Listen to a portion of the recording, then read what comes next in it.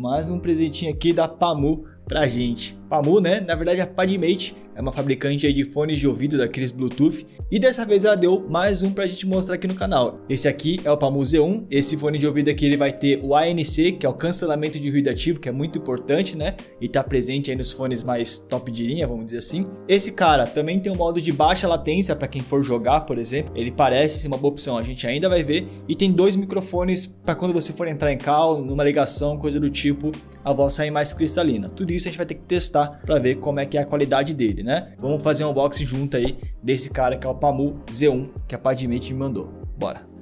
E bom, a embalagem aqui já é bem legal, né? A embalagem aqui, ele, né, aquela embalagem premium mais sólida, mais minimalista também, só com a, o logo da Pamu aqui em holográfico. Vamos abrir e ver como é que é a aparência desse fone. Eu tava dando uma olhada na loja oficial da Pamu. Esse cara, ele não é tão barato. Ele custa lá pelos seus 300 reais mais ou menos. E tem a versão Pamu Z1 normal, que é o que eu recebi. Que ele vai ter cancelamento de ruído.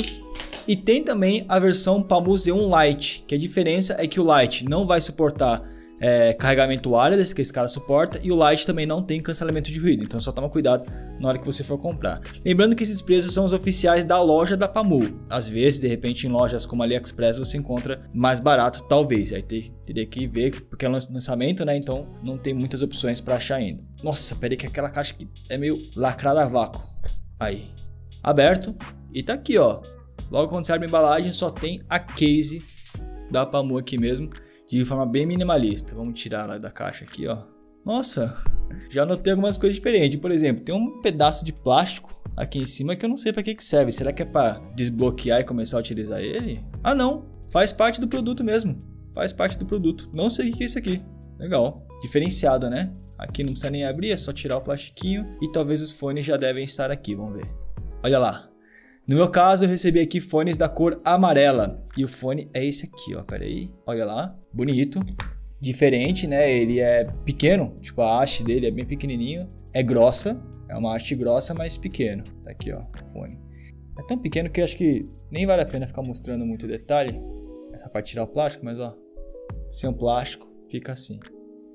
Charmoso. Tá aqui, ó, os dois fones, as duas abelhinhas Pamu Z1 aberto então. Essa aqui é a case, como eu mostrei para vocês, né? Então tá aqui a parte da frente, aqui a parte de trás, parte de baixo.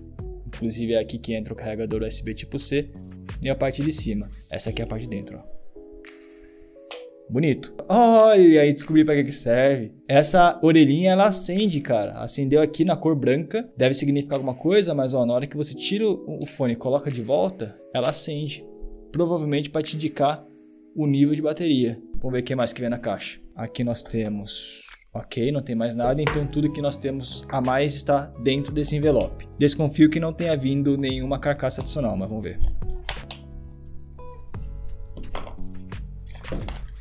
Começando pela típica, né? Bagzinha que a Pamu sempre manda, a bag de corino aqui, que é uma bag para você levar o seu fone em segurança, né? Então você bota aqui o fone, fecha a bag e leva em segurança. Tem aqui os manuais, tem aqui algumas dicas, tem aqui, ah, aqui é um QR Code para você baixar o aplicativo da Pamu, porque esse fone tem várias configurações que você faz no aplicativo e o manual completinho deles, olha o tamanho do manual, grandão. Veio um cabo USB, então ele veio um cabo USB para USB-C para você poder carregar, né? O, o aqui, mas se bem que ele é compatível com wireless charge também, se você tiver algum carregador wireless. Aqui muito provavelmente são aquelas borrachinhas adicionais, só confirmar. É isso mesmo, são as borrachinhas adicionais que sempre vem em todos os fones, né? Aqui tem é, tanto de tamanho diferente. Ah, não, aqui são só tamanhos diferentes. Alguns fones vêm até com altura diferente, nesse caso são apenas os tamanhos diferentes. Eu costumo utilizar o original, que minha orelha é bem padrão mesmo. Então tá aí, esse aqui foi o unboxing do Pamu Z1 Gostei. Agora eu vou fazer o seguinte, é, em vez de continuar estender muito aqui o unboxing, eu vou começar a utilizar esse fone no meu dia a dia para poder tirar as minhas conclusões e aí eu trago mais detalhes para você. Enfim, deixa eu testar, conhecer mais sobre esse produto aqui e ainda nesse vídeo vocês vão ver as minhas opiniões do Pamu Z1. Fechou? Bora! E bom pessoal, antes de continuar o vídeo, apenas um adzinho para vocês, para quem já acompanha o canal já sabe, né? Um ad da Cuponomia. A Cuponomia tem uma extensão aí para o seu navegador, estou utilizando aqui o navegador Microsoft Edge, por exemplo. E se você instalar essa extensão, por exemplo, aqui no site da AliExpress, mas várias outras lojas da internet, tipo Amazon, Kabum, várias outras outros sites que a gente utiliza muito aqui no canal, você consegue ativar um cashback. Então tudo que você comprar dentro aqui, no caso, né, do AliExpress, eu vou ganhar 3% do valor que eu gastar de volta na forma de cashback na minha carteira do Cuponomia. Sem contar que através dessa extensão que você pode instalar no seu navegador, você consegue ter acesso a diversos cupons aqui, né? É claro que cada cupom vai funcionar para determinados produtos, mas você pode testar, quem sabe você não ganha um descontinho além do cashback que já é garantido, né? Desde que você ative ele, é garantido em qualquer compra que você faça. A Cuponomia tem compatibilidade com mais de 2 mil sites, tanto AliExpress, Banggood, a gente fala muito sobre Amazon, Kabum por aqui. Então recomendo que vocês instalem essa extensão no seu navegador. E se você por acaso for fazer uma compra através do seu smartphone, você também pode baixar o aplicativo da Cuponomia, né? No aplicativo você tem diversas lojas aqui para você inicializar a loja. E por exemplo, no AliExpress é só você clicar em cima do AliExpress e ativar o cashback através do seu smartphone. Tem alguns cupons, né, que você pode copiar aqui também, mas ativando o cashback você vai ser redirecionado para a loja da AliExpress, no caso aqui é só esperar essa tendência passada e pronto, assim que você abrir o seu aplicativo do AliExpress, qualquer compra que você fizer aqui já vai ter o cashback habilitado. E bom, eu vou deixar aqui na descrição um link para você começar a utilizar a extensão ou aplicativo. E se você se cadastrar por esse link, você já começa com 5 reais na sua carteira.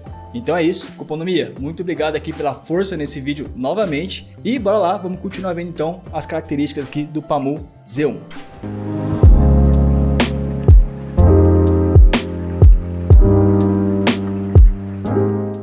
Bom pessoal, tô utilizando aqui o Pamu Z1 já faz um tempinho, né? E tô gastando bastante dele. Esse aqui é o terceiro fone que a Pamu já manda pra gente, né? A Pamu enviou o Pamu Nano T7, que é o fone mais de entrada deles. Aí tem o Pamu Z1, que seria um fone intermediário. Esse cara já tem ANC. O Nano T7 não tinha ANC. E ela já mandou também o Pamu Quiet Mini, que é o Pamu com ANC mais sofisticado que eles têm. Inclusive a faixa de preço um pouquinho maior. Então vamos lá, deixa eu passar o feedback para vocês do que eu achei do Pamu Z1 enquanto eu estava utilizando ele por aqui. E primeiro a gente tem que começar falando sobre o ANC, né? Porque esse cara, um dos grandes diferenciais dele é que ele já tem o ANC. Para quem não sabe, o ANC é o cancelamento de ruído ativo, onde o fone ele emite uma certa frequência para cancelar o ruído do ambiente. Então, se você pega muito busão, esse tipo de coisa, né? O ANC faz com que ou você não ouça o ruído do ambiente, que é o modo ANC on, e tem também o modo transparência, onde o fone ele vai fazer o contrário. Ele vai captar o ruído do ambiente e vai deixar passar para que você possa ouvir, né? O que está acontecendo seu redor. E aí, no caso do Pamu Z1, o que eu senti foi o seguinte, ele tem o modo, os dois modos, né, o ANC On e o ANC Transparency, também dá para você desligar o ANC, só que é um ANC mais simples, é um ANC mais discreto, podemos dizer assim, né? Pelo menos comparando com o Pamu Quiet Mini, que era o fone da Pamu com ANC completinho que a gente testou faz um tempinho, nesse cara o ANC é um pouco mais discreto, então tanto no modo de isolamento, onde ele tenta te isolar do ambiente externo, quanto no modo de transparência, né? Ele tem um efeito mais suave. Agora, sobre a qualidade sonora desse fone, eu testo muito fone sem fio por aqui, né? E sinceramente, a qualidade de todos os fones que eu testei até hoje, nenhum deles me desagradou. Que não é diferente também aqui no Palmo Z1. Palmo é uma marca muito boa desses fones Bluetooth, esses fones CWS, né? Aqui nós temos um driver de 10mm, o que é bastante grande. Eles falam até que o diafragma é de titânio, esse tipo de coisa mas é um fone muito bom. Uma única observação desse fone é que, por exemplo, comparando com o Quiet Mini, que é um dos meus fones favoritos até hoje, o som desse fone aqui é um pouco mais grave que o normal, então ele tem uns graves mais fortes. Por exemplo, quando você está ouvindo um trap ou um rap, onde tem aquelas batidas né, mais fortes e aquele baixo que percorre toda a música, você sente que o grave aqui ele é bastante forte, o que não é exatamente um ponto positivo, porque é tão forte que ele acaba abafando um pouquinho os médios, por exemplo, né? Então ele acaba abafando um pouquinho as vozes de quem tá cantando, esse tipo de coisa. Mas assim, é coisa leve, comparando ele com o Pamu Quiet Mini, né? Mas sem comparação, a qualidade sonora dele é muito boa, assim como a maioria dos fones que a gente testa por aqui. Ah, e tem um outro porém também, apesar dele ter esses graves mais fortes, ele vem pré-configurado numa equalização chamada de equalização pop. Você pode mudar a equalização do fone através através do aplicativo da Pamu. Então você pode ir lá deixar na equalização de rock, por exemplo, onde ele retira totalmente os graves, no modo jazz, tem o modo normal também. Então você tem vários modos onde você pode tentar encontrar uma variação que agrade mais ao seu estilo musical.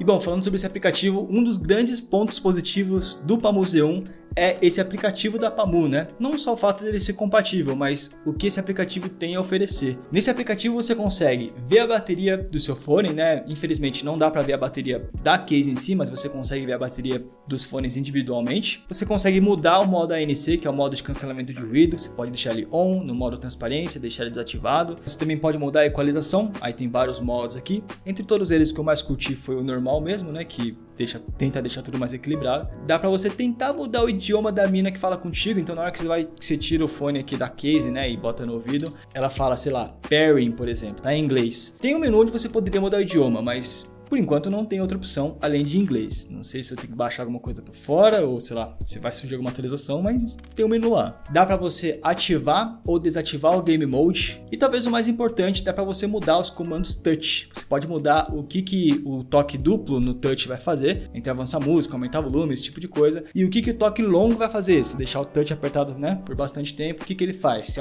aumentar o volume, trocar o modo ANC, chamar um assistente de voz, você pode configurar do jeito que você quiser, tanto lado direito quanto lado esquerdo. O único comando que você não vai configurar é o toque único. O toque único ele vai ser sempre pause ou despause, você não tem como mudar isso. Ah, e por último, pelo aplicativo você também consegue atualizar a firmware dos fones, sei lá, para manter eles atualizados, né? Se a fabricante de repente lançar alguma função nova, esse tipo de coisa, você vai se manter atualizado desde que ele esteja com a firmware atualizada. Falando mais sobre essa parada de Game Mode, né? Esse fone ele utiliza o Bluetooth 5.2, que é um dos Bluetooths mais recentes. É um Bluetooth bastante estável, eu não tive nenhum problema é, de perda de conexão, dos fones de um lado parando de funcionar. Dá para você usar os lados separadamente também, só o lado esquerdo ou só o lado direito, sem problema nenhum. No modo Game Mode, essa latência, esse delay, que costuma ser de quase um segundo de delay, é diminuída para 130 milissegundos o que é muito mais rápido. 130 milissegundos seria 0,1 segundo. Só que ainda é bastante coisa, né? 130 milissegundos para quem joga é bastante notável. Eu testei jogando COD Mobile, por exemplo, e mesmo com, com Game Mode no Ultra Low, que é o mais baixo possível, que é esse de 130 milissegundos, você ainda nota um certo delay no som. O delay é muito menor do que o delay tradicional, já é possível jogar, você não causa tanta estranheza, você nota que o som está um pouco atrasado. Agora, se você vai jogar de forma competitiva, você é um cara que vai jogar de forma mais séria, você quer ouvir no momento exato, porque se você ouvir um pouquinho atrasado, você pode morrer por conta disso, tal. Aí eu recomendo você continuar nos fones cabeados se você jogar competitivamente. Para jogar casualmente, para ver um filme, esse tipo de coisa, o modo Game Mode de baixa que poderia ser chamado de baixa latência, porque você não usa isso só para jogar, né? Já atende perfeitamente com seus 130 milissegundos de delay. Agora falar um pouquinho sobre o design dos fones, né? Vocês já viram no unboxing, mas é o abelhinha, né? Eu peguei a versão abelhinha dele, que é preta e amarela. Cara, eu gostei bastante do design, tanto dos fones quanto da case. No caso dos fones, né?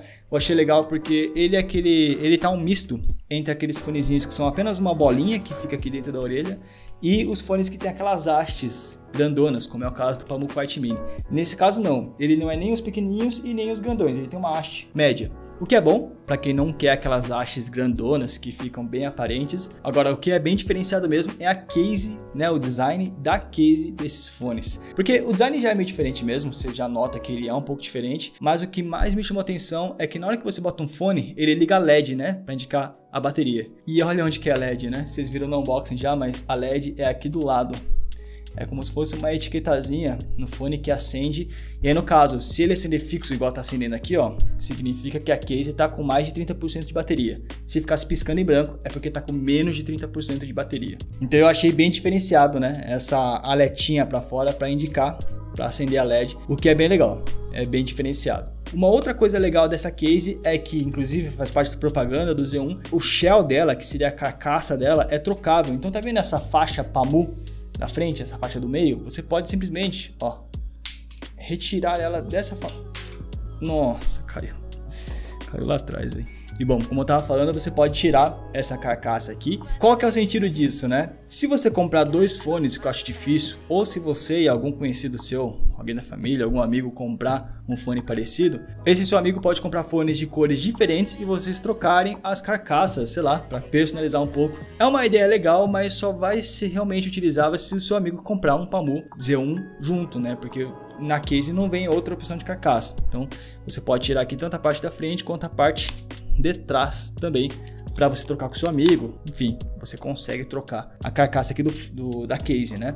No fone, uma curiosidade que eu tinha é que eu pensava que essa parte amarela do fone também seria trocável. Não é. No fone você não consegue mudar nada, é somente essa parte, né, essa carcaça da case que é trocável.